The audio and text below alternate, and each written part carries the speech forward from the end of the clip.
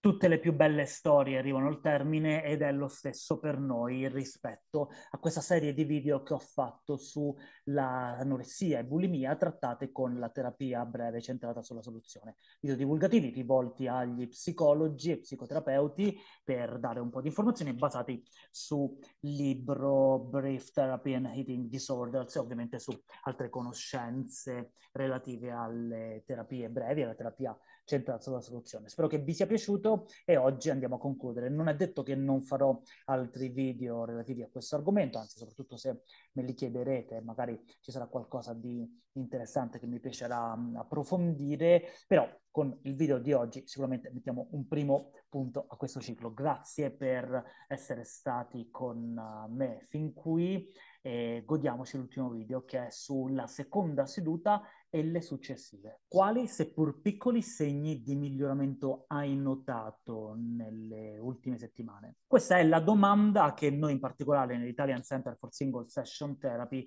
utilizziamo in qualunque tipo di terapia breve centrata sul, sulla soluzione e non fa eccezione quella con i disturbi alimentari. Quindi la seconda seduta si apre proprio così. Si apre cioè con domande come questa o comunque che vanno a cercare di fare elicitare in prima istanza alla persona che cosa funziona, che cosa ha funzionato, che cosa va meglio. Un'altra domanda può essere proprio questa. Che cosa che è andato meglio dall'ultima volta che ci siamo visti rispetto all'ultima volta in cui ci siamo visti? Che cosa che ha funzionato, che cosa che è migliorato, che cosa che è cambiato in positivo? Quali piccole cose positive hai notato da allora?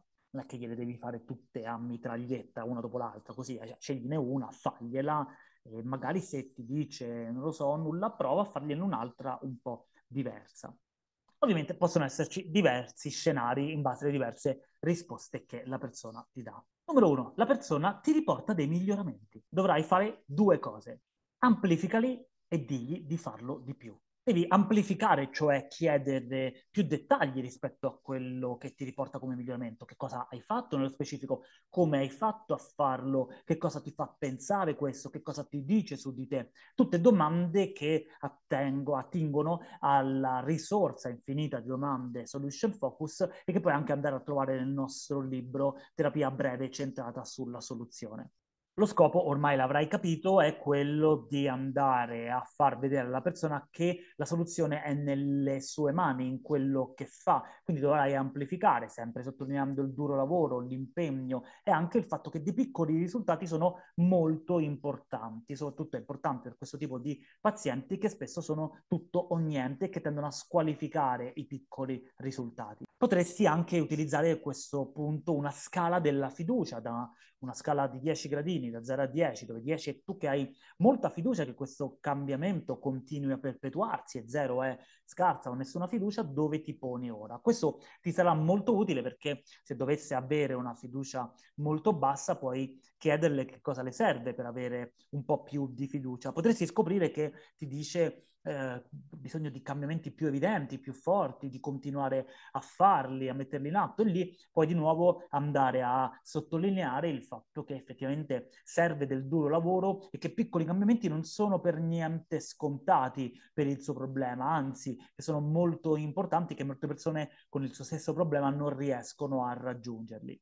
in generale usa questa seduta per consolidare la sua fiducia nella capacità di mantenere le cose che ha messo in atto e per ovviamente sottolineare il fatto che quello che ha messo in atto è davvero importante. Oh, attenzione ragazzi, io non voglio darvi l'idea che dovete fare questa cosa fingendo, ma dovete essere convinti voi stessi in prima persona che è così. Quando parliamo di disturbi alimentari parliamo di problemi che sono difficili da cambiare, quindi dei piccoli risultati, sono dei grandi traguardi per questa persona e noi dobbiamo sottolinearli per far capire a lei il valore di quanto è riuscita a fare. La seconda situazione è quella in cui la paziente torna e non vede miglioramenti. In genere questo è dato proprio dalla tendenza di questo tipo di clienti a focalizzarsi su quello che non va, su quello che non funziona, oppure a minimizzare dei risultati considerati troppo piccoli piccoli. Quello che allora dovrai fare tu è ancora una volta focalizzare la tua e la sua attenzione sulle eccezioni. Ma c'è stato qualcosa di diverso? Che cosa è cambiato anche di minimo? Le cose sono state uguali a prima? Nella scala eri a 4 l'altra volta, sei ancora a 4 o sei un po' più su a 5 o a 4,1? E se sì, perché cosa hai fatto di diverso? Cosa ti fa pensare questo? Brava, complimenti, è un grande impegno quello che hai dovuto mettere a fare questo, me ne rendo conto, non è facile. Molte persone che vedo con questo problema non ci riescono e questi piccoli risultati sono importanti, dobbiamo continuare a insistere. So che hai molta fretta, ma dobbiamo andare piano per poter arrivare prima. E un'altra cosa che puoi chiedere è cosa sei riuscita a fare per non peggiorare? Sei rimasta a 4, come hai fatto a non scendere più in basso? Come hai fatto comunque a mantenere lo stato dell'altra volta? E se dovesse essere peggiorata, chiedere come hai fatto a non arretrare ulteriormente. O in questo caso in cui non ci sono dei progressi, ci sono alcune cose che devi tenere a mente, che devi fare in seduta. Numero uno, separa la... Comunque io non, non, sto ignorando deliberatamente, ragazzi, il fatto che ci sono le cicale in sottofondo, gli uccellini, le zappe, eccetera. Però, eh, ragazzi, è così. La vita di campagna è questa qui. Dicevo, numero uno, separa la persona dal problema. Questo significa che non hai di fronte un'anoressica, Dio mio, ma hai di fronte una persona con un problema. Quindi tu devi andare a sottolineare i punti di forza e le risorse di quella persona, anziché sottolineare tutto quello che non va, tutto quello che non funziona, tutto quello che non le è d'aiuto. C'è già lei che fa questo, non ti preoccupare. Tu invece sottolinei i suoi punti di forza e le sue risorse. Numero due, non prendere una posizione rispetto alla paziente o al problema e in generale alla mancanza di progressi evita di dire tu sei così e cos'ha, avresti dovuto fare così e cos'ha, oppure dire questo è un tipo di problema che effettivamente ti farà uh, soffrire tanto, uh, deve, devi impegnarti molto di più, perché va bene parlare di impegno e duro lavoro, ma sempre con l'ottica di sottolineare i progressi e le, l'impegno anche soltanto motivazionale che la persona sta mettendo in atto. In altre parole, peraltro in accordo con gli studi sulla relazione terapeutica che funziona, devi aumentare la fiducia e la speranza della persona, non fare il lavoro opposto. Valuta se l'obiettivo è cambiato, perché a volte la mancanza di progressi potrebbe anche essere legata al fatto che c'è stato un cambiamento, anche magari leggero rispetto all'obiettivo. Magari per qualche ragione, all'inizio eravate molto sul, nella prima seduta, molto sul uh, disturbo alimentare, ma per qualche ragione ora è cambiato qualcosa e se sì, tu devi rendertene conto perché tu hai una cliente rispetto a quell'obiettivo e non più rispetto a quello precedente. Valuta, numero 4, più attentamente lo stadio del cambiamento, perché similmente a quello che ho detto poco fa, magari la persona hai valutato che si trovava in uno stato di contemplazione e invece magari in uno stato di pre-contemplazione, oppure in uno stato di azione e invece in uno stato di contemplazione. Magari pensavi che fosse una cliente e invece è una lamentatrice. Valutalo più attentamente perché, come avrei visto nel video precedente sui compiti, a seconda di il tipo di stadio o di relazione in cui si trova la persona, cambia anche il tipo di richieste che devi fare, i compiti che devi dare, ma cambia anche, come ho detto nei video precedenti, proprio quelli iniziali di questa serie, cambia anche il tipo di domande che farai e come andrai a condurre il colloquio, quindi magari non ci sono miglioramenti per questo motivo. In questo caso ricordati sempre di focalizzarti su uh, delle mutue negoziazioni delle lamentele che porta alla cliente, cioè devi capire qual è il suo obiettivo, dove vuole andare a lavorare lei e focalizzarti con lei su quello. Come finisce questa prima, questa seconda seduta? Bene, esattamente come la prima seduta, cioè c'è il messaggio di feedback, lo ricorderai dal video precedente, in cui fai complimenti per quanto ha fatto fino a quel momento, per l'impegno che ha profuso fino a quel momento. Di nuovo, se necessario, prendi un accordo sull'obiettivo, in questo caso non deve essere, allora di nuovo noi abbiamo deciso che lavoriamo su questo, ma può essere semplicemente ok, continuiamo dunque su questa strada se siamo d'accordo e infine dai eventualmente il compito a seconda anche della fase in cui, del cambiamento in cui si trova. Su tutto questo non ci ritorno perché in, nel video precedente già ne avevo parlato. E le altre sedute? Beh, in realtà questa è la cosa meravigliosa della Solution Focus. Le altre sedute sono identiche alla seconda, che è molto simile peraltro alla prima.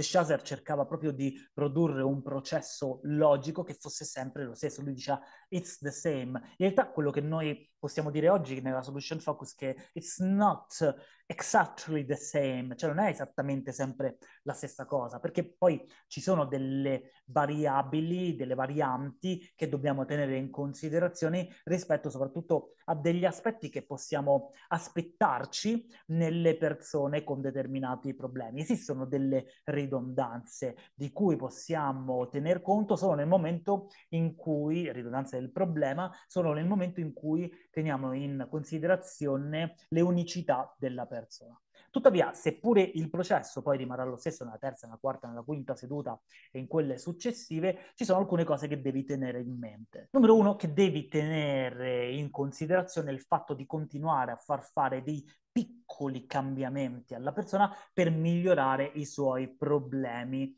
alimentari. Abbiamo detto che con una persona stiamo ovviamente su quello che lei ci porta, però è ovvio che non stiamo trascurando il problema alimentare, quindi se dopo un po' che stiamo andando avanti, stiamo parlando di tutt'altro e il problema alimentare non viene mai fuori, dovremmo cercare magari di chiedere, eh, indagare, ci sono miglioramenti anche rispetto a quello. Però attenzione, come ho detto in uno dei primissimi video, sempre ricordando che se la persona non è un, una cliente per quel tipo di problema, magari una lamentatrice o una visitatrice, è sempre opportuno lasciare la porta aperta in modo tale che possa tornare da noi quando sentirà di poter affrontare quel tipo di problema. Però se invece è eh, già in uh, lavoro con noi con l'idea che uh, quello è un problema, lamentatrice, o quello è un problema che può affrontare, su cui può fare qualcosa cliente, bene, allora dobbiamo renderci conto, seduta dopo seduta, che ci siano, assicurarci che ci siano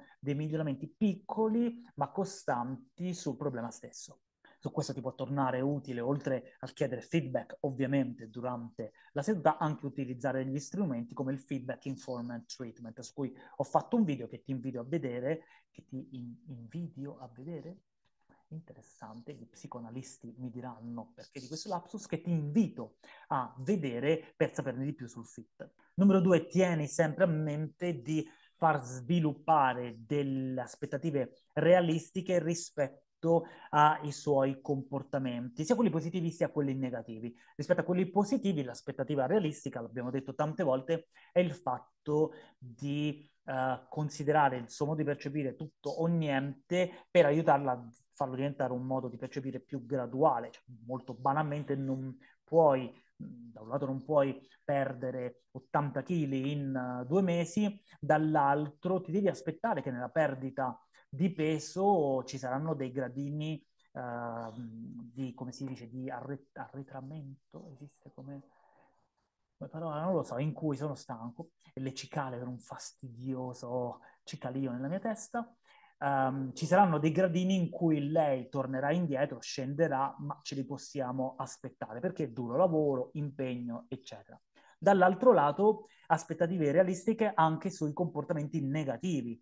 Che significa? Significa che se, se continuo a mettere in atto dei comportamenti, per esempio, siamo al vomito la forte restrizione alimentare, pur riconoscendo il fatto che ci deve lavorare, pur standoci lavorando, però potrebbe continuare a metterli proprio perché i piccoli cambiamenti potrebbero essere in certe situazioni molto piccoli, bene, è importante che abbia un'idea di quali saranno le possibili conseguenze, le realistiche conseguenze negative. Attenzione, questo ne ho parlato forse nel primissimo video, quando parliamo del, della cliente in una fase di precontemplazione. Non devi essere punitivo, non devi colpevolizzarla, devi darle delle basic information, cioè delle informazioni base su quello che può succedere. Gliele dai in prima seduta, nelle sedute successive, se ti riporta ancora dei problemi, se, se la quarta seduta ci sono dei piccoli miglioramenti costanti, ma ancora vomita molto bene, è bene che tu le dica ok, mi raccomando ricorda che questo purtroppo è un comportamento che potrebbe darti eh, dei problemi di tipo fisico, di questo, questo, questo e quest'altro genere. E terza cosa, in realtà te l'ho già detta, farla a portare ad apprendere una tolleranza degli scivoloni, delle ricadute, quindi portarla a diventare tollerante con se stesse e con questo tipo di cambiamento che inevitabilmente è un cambiamento che può prevedere degli up and day down. Ma se tu darai delle basic information da un lato e utilizzerai le scale che aiutano a normalizzare certi comportamenti, sei al quarto gradino, non sei ancora arrivata al decimo, però due settimane fa eri al terzo gradino, quindi hai fatto un miglioramento e che dall'altro aiutano le scale anche a sottolineare i piccoli cambiamenti positivi, hai fatto questo, hai fatto questa altra eccezione, complimenti come hai fatto, eccetera,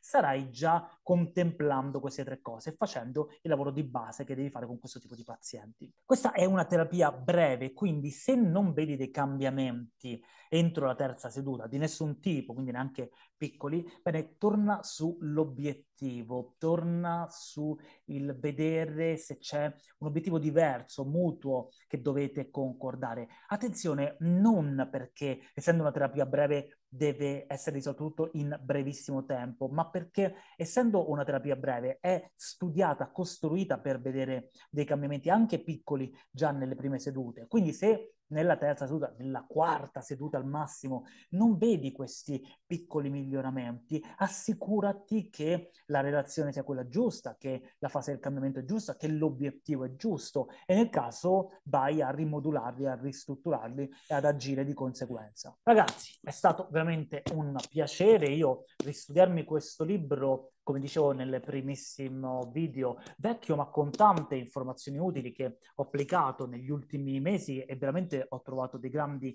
risultati, ovviamente unite alla mia esperienza e alle conoscenze ulteriori di terapia breve, di terapia centrata sulla soluzione, è stato un viaggio che mi è piaciuto tanto condividere insieme. Nel libro ci sono tante altre cose, magari ve ne parlerò in futuro in altri video se vorrete. Ci saranno altri video, ne ho nel frattempo mentre registravo questi ne facevo altri, eh, ne ho fatto uno sulla depressione, ne ho fatto uno sul linguaggio paraverbale, ne farò un altro sul dialogo strategico e anche su altre cose, quindi continuate a seguirmi perché ho ripreso a produrre un po' di video.